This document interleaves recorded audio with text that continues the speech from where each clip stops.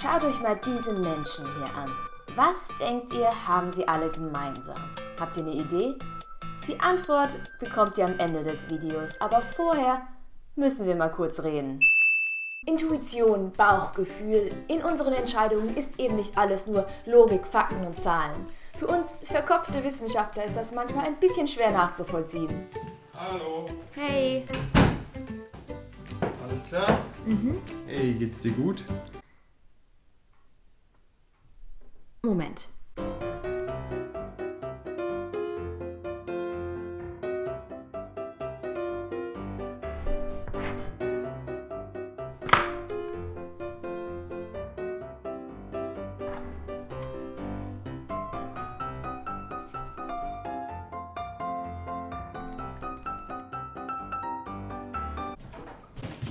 Ja, es ist manchmal also gar nicht unbedingt das Beste, sich nur auf Logik und Verstand zu verlassen. Selbst die Wissenschaft hat bisher immer wieder festgestellt, dass intuitive Entscheidungen manchmal nicht nur die schnelleren, sondern sogar die besseren sind. Nur wenn es so weit kommt, dass wissenschaftliche Fakten völlig ignoriert werden, da hört der Spaß auf. Ja, medizinisch gesehen bin ich vielleicht nicht glutenintolerant, aber ich fühle mich so viel besser, wenn ich darauf verzichte. Ich werde meine Kinder natürlich nicht impfen lassen. Ich will doch nicht, dass die Autisten werden.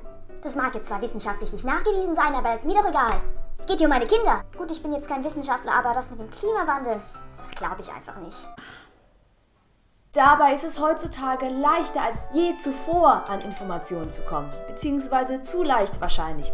Im Internet findet man eben alles, wonach man sucht, ob es Sinn macht oder nicht. In den USA wurde 2014 eine landesweite Umfragestudie vom Pew Research Center über die öffentliche Meinung zu wissenschaftlichen Themen durchgeführt. Laut dieser Studie glaubten 2014 30% der Amerikaner nicht an die Evolution, ungefähr die Hälfte glaubte nicht, dass der Klimawandel durch Menschen verursacht wird und wieder rund 30 Prozent waren der Meinung, dass Eltern selber entscheiden sollten, ob sie ihr Kind impfen oder nicht. So kam es unter anderem dazu, dass die Masern, die eigentlich schon längst kein Thema mehr waren, 2014 in den USA ihr größtes Comeback seit 20 Jahren hatten.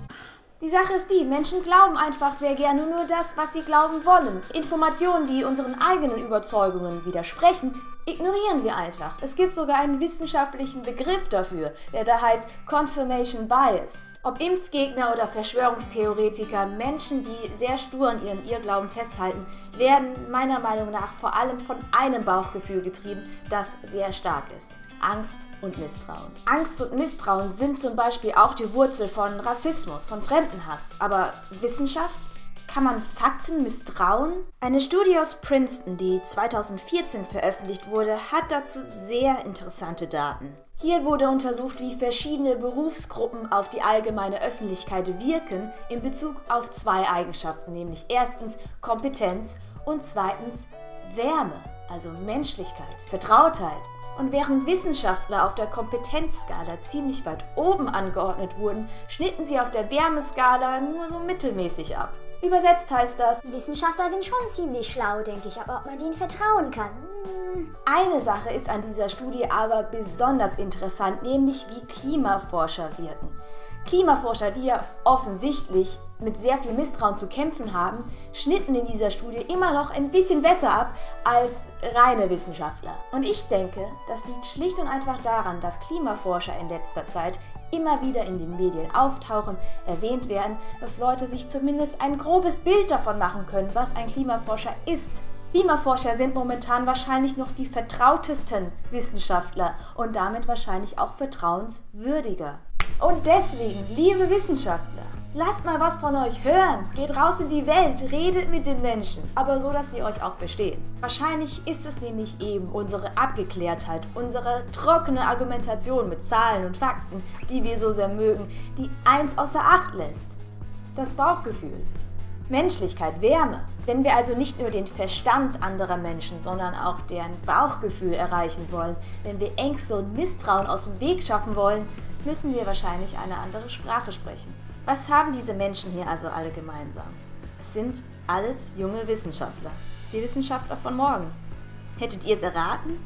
Würdet ihr diesen Menschen vertrauen? Habt ihr überhaupt ein Bild davon, was Wissenschaftler für Menschen sind? Naja, jetzt wisst ihr ja schon mal, wie wir aussehen.